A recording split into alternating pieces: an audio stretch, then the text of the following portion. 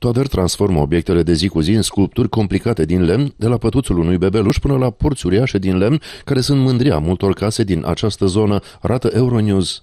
Dar am fost în America, e Washington, de acolo. M-a oprit să rămân acolo, să lucrez.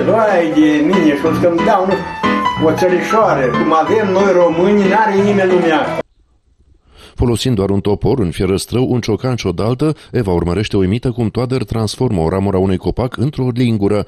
Ea încearcă de asemenea să adauge oarecare presiune cronometrând timpul în care face o lingură, cât timp i-a trebuit lui Toader să creeze o ustensilă de bucătărie cu unelte de bază, 29 de minute.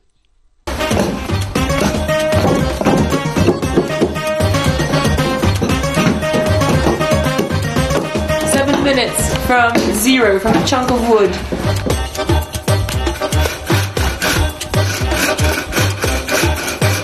You can imagine that if you were a craftsman like Mr. Barsan and you're doing this all your life, then it's probably quite meditative, working with natural materials and creating something out of nothing.